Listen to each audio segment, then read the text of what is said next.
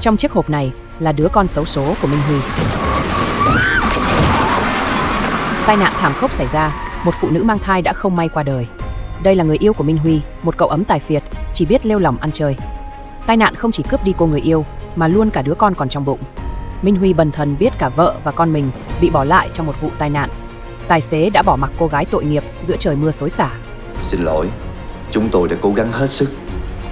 Nếu được đưa vào sớm hơn, chúng tôi sẽ cứu cả mẹ lẫn con. Tôi không cần biết anh làm cái gì Không được để cô ấy đi Minh Huy căm hận người đã bỏ mặc vợ con anh, quyết tâm phải để tên ác nhân đó sống những ngày còn lại thật tồi tệ. Theo điều tra từ cảnh sát, Thiên Ân chính là tài xế ngày mưa đó. Toàn bộ chứng cứ đều bất lợi cho Thiên Ân, đặc biệt vết máu của Quỳnh Châu vẫn còn trên chiếc xe của Thiên Ân. Khám nghiệm hiện trường cho thấy Có dấu chân bên cạnh nạn nhân Chứng tỏ hung thủ đã tới rất gần Quan sát rồi bỏ đi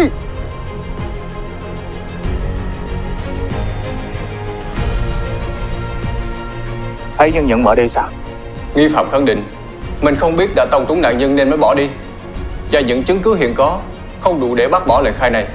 Theo nguyên tắc suy đoán vô tội, Hung thủ đã được tại ngoại rồi đó Bằng mọi giá buộc tội đi Tôi chưa hiểu Anh không cần hiểu Làm theo lệnh thôi Minh Huy căm hận người phụ nữ này. Chính cô ta đã phá hủy toàn bộ cuộc đời anh.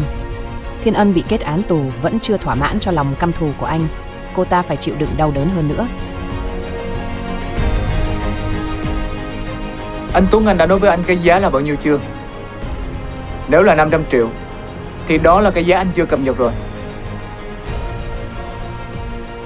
Cái giá bây giờ là 2 tỷ Anh quyết tâm đẩy Thiên Ân đến tận cùng đau khổ Mà không biết hung thủ thật sự lại là một người khác Và đừng để cho ông tin lại.